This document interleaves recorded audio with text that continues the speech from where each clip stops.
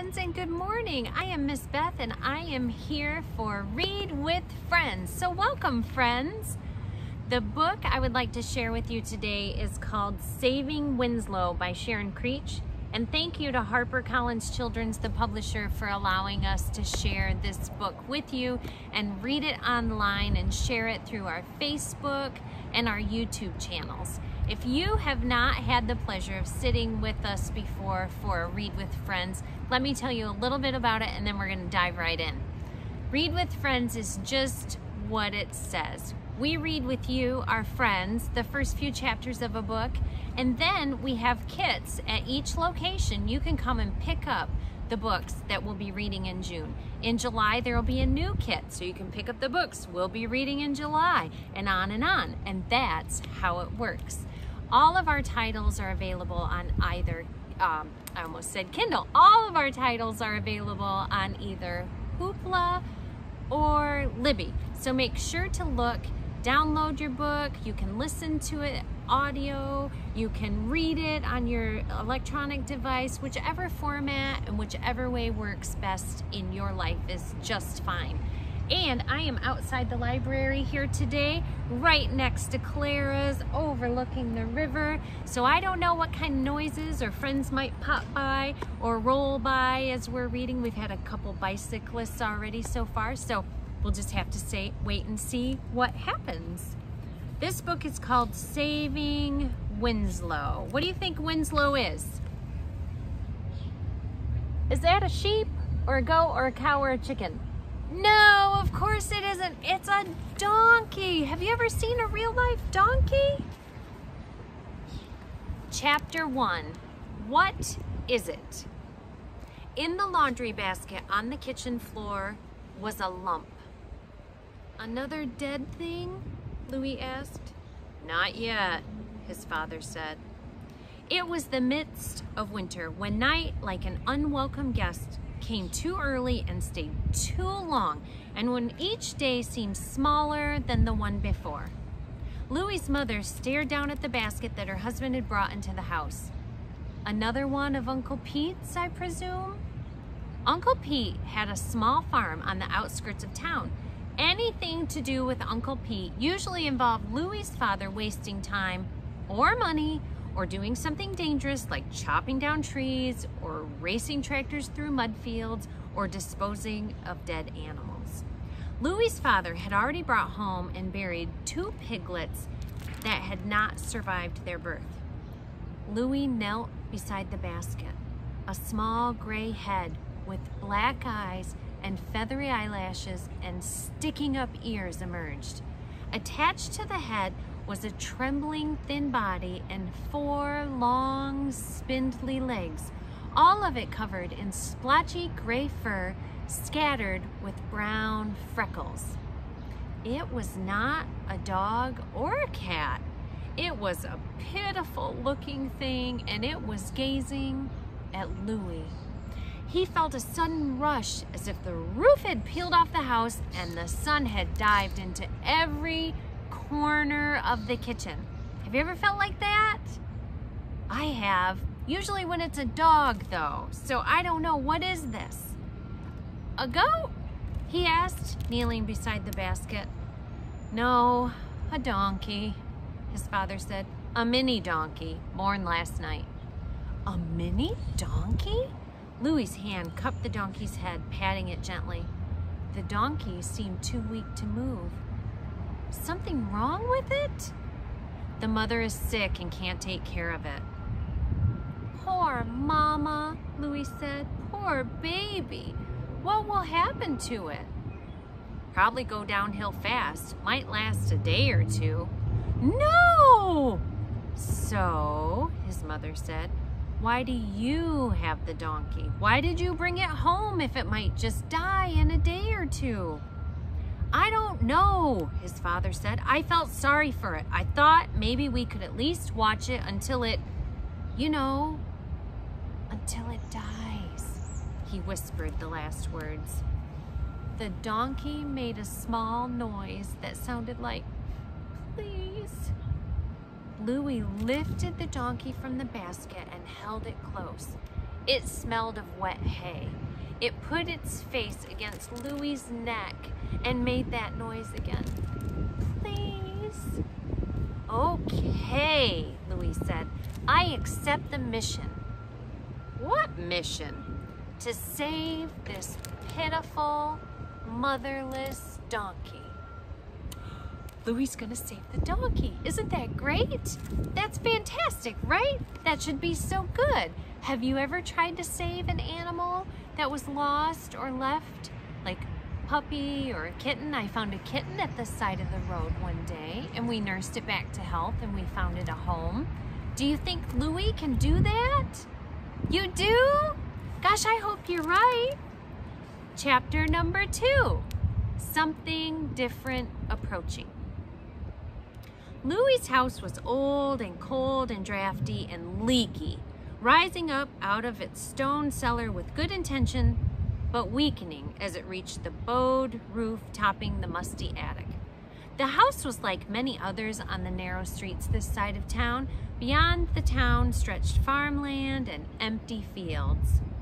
In summers past, the house had felt light and airy, with cooling breezes puffing the curtains in and out of the windows, and always his older brother Gus there, so full of energy and purpose.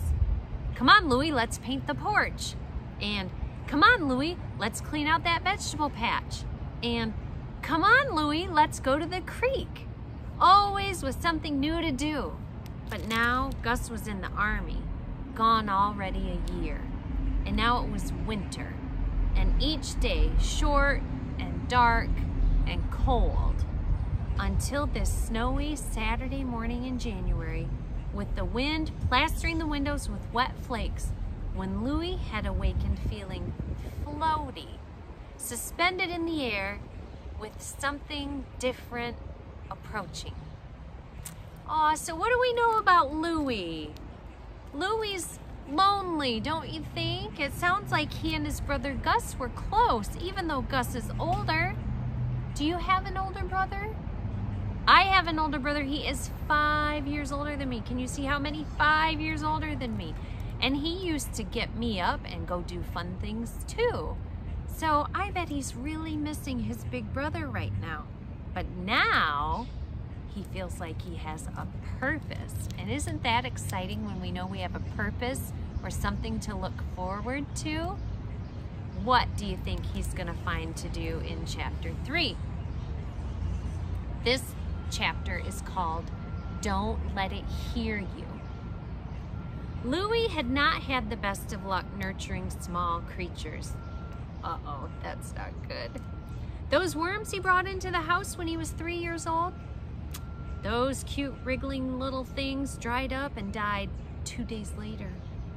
The lightning bugs so carefully caught and tipped into the glass jars with holes punched in the lid, dead on the bottom of the jar three days later. Hmm.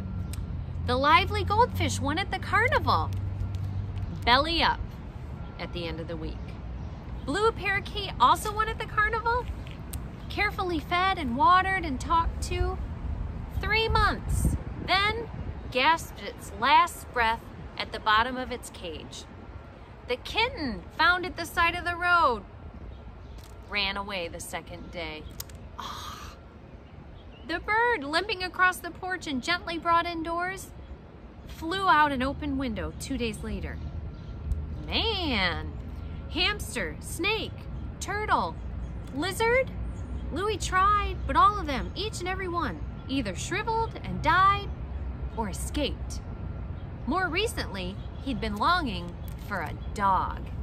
His parents thought it would be a better idea if he borrowed a dog from time to time, one that didn't live with them, one that didn't need walking in the rain and snow, and one that didn't pee on the carpet or chew on the furniture.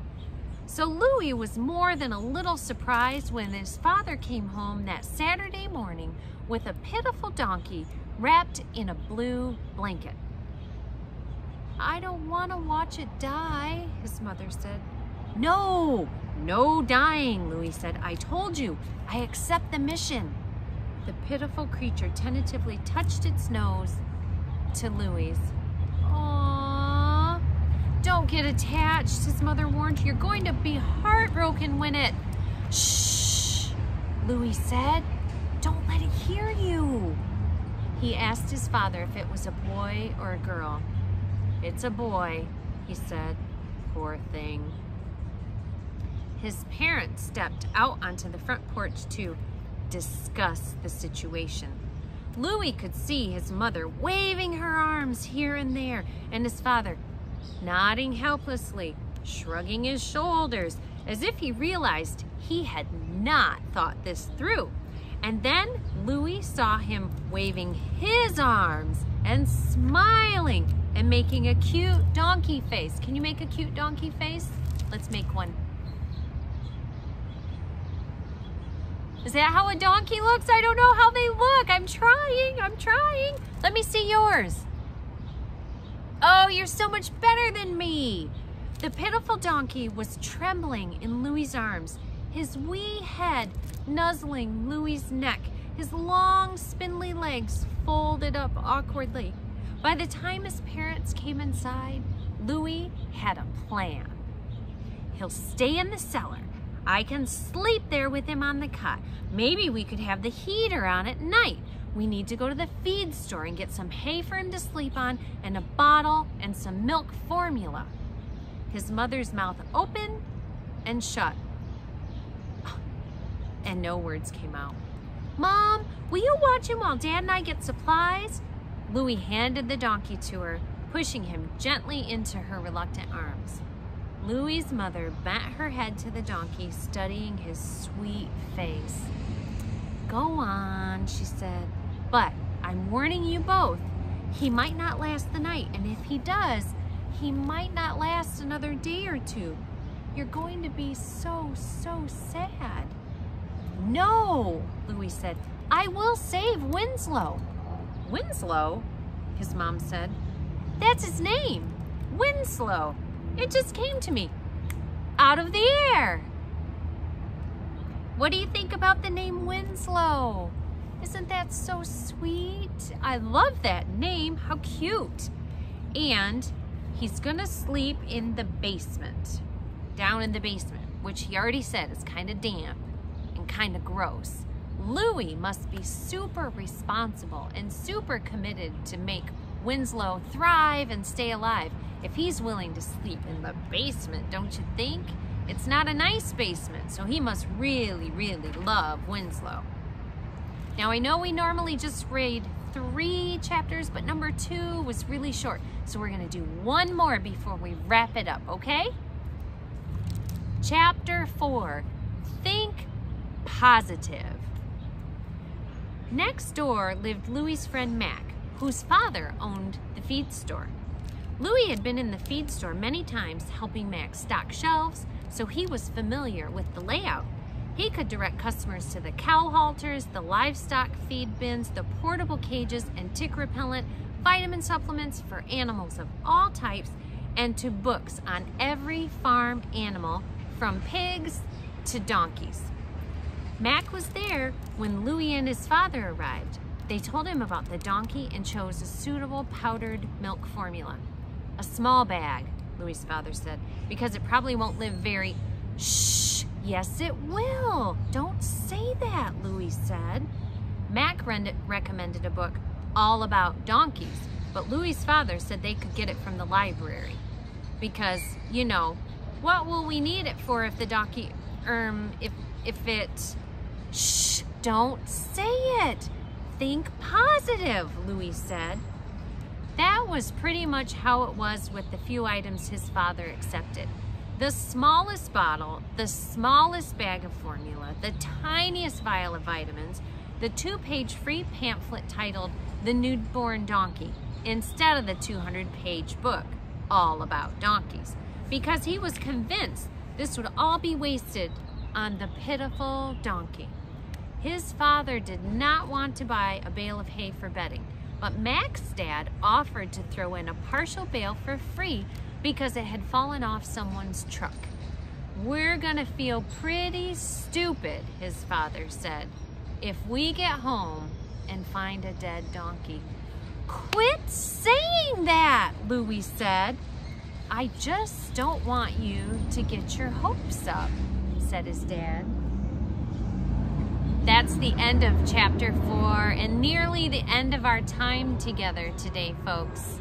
Make sure you look on Hoopla and Libby to find Saving Winslow, to download it in whatever format works best for you, and make sure you read the rest of the book because I can't believe that in four chapters that's the end of our story. I know it's not. I read the book.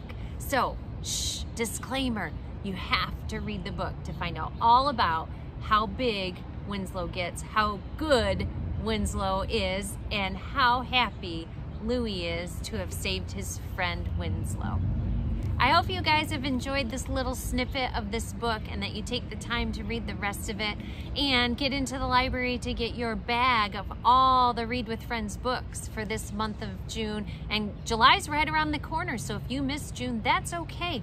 Get in there starting July 1 and you can get July's books and be all set to read with friends. You guys have a great rest of your day, and I hope you have an even better tomorrow. I'll see you soon.